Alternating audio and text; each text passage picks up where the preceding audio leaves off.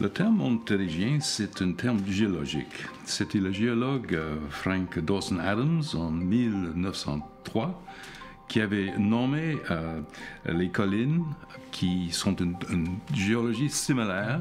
Euh, il avait nommé ces, collines les montagnes royales. Si on traduit ça en latin, ça devient Mons Regius. Puis Mons Regius, c'est devenu Montérégiens. Les Montérégiens sont toutes euh, d'une géologie très similaire. Ils ont toutes plus ou moins le même âge, 125 euh, millions d'années. L'origine, c'est fascinant aussi comment ils sont emplacés. Euh, probablement un ancien five zone de faiblesse dans la croûte terrestre et un certain moment de tension euh, cette magma était euh, comme libéré, si vous voulez, ce qui est sorti, euh, monté dans cette zone de, faiblesse pour créer toutes ces, ces montagnes sur une longueur de quoi, 2, 225 km, quelque chose comme ça. C'est fascinant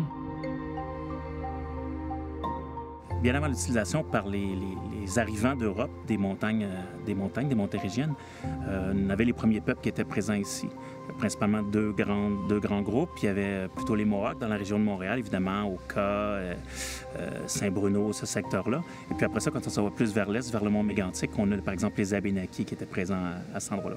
Et on a retrouvé sur quelques-unes de ces montérégiennes-là, ou à proximité d'eux, des indices d'occupation.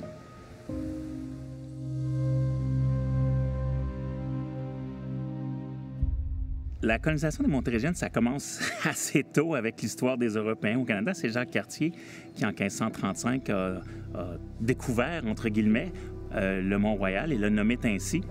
Et puis tranquillement, on va dire que la colonisation des Montérégiennes s'est étendue un peu comme une tache d'huile. Donc on est parti de Montréal, puis on s'est étendu. Donc 16e siècle, on était sur le Mont-Royal.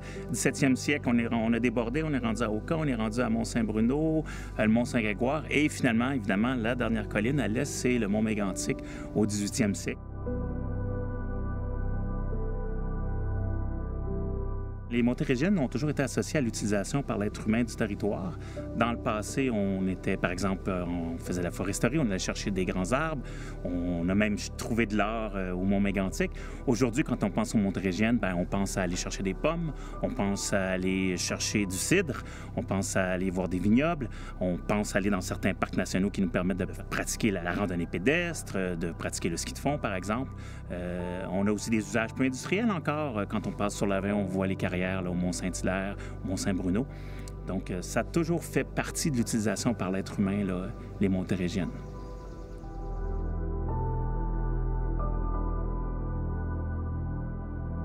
Si les montérégiennes sont essentiellement maintenant principalement des milieux naturels, donc avec beaucoup de forêts de ça, on peut quand même détecter des, vestiges historiques, des vestiges du patrimoine, beaucoup de patrimoine religieux d'ailleurs. Euh, on s'élevait, j'imagine, près, des, près du, des cieux. Donc, on va retrouver par exemple euh, ben, le calvaire à Oka. On retrouve encore des indices de la présence des religieux sur le mont Saint-Bono. Il y a une grotte. Euh, si on va complètement à l'est, du côté du mont Mégantic, il y a une chapelle tout en haut du mont Mégantic.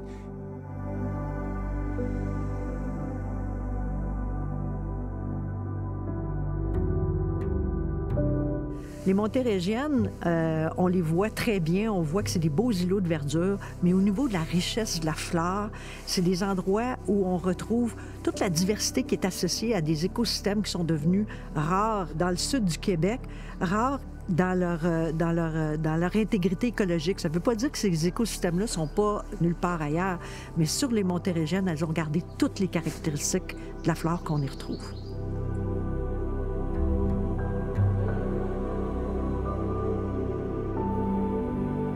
Si jamais vous avez la chance d'aller sur les collines montérégiennes, prenez le temps d'observer la faune, la flore autour de vous.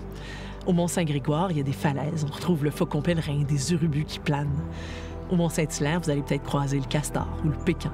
Mais un peu partout, il y a des couleuvres, il y a des grenouilles, il y a des plantes, il y a des arbres. Ça vaut vraiment la peine de prendre le temps de les découvrir.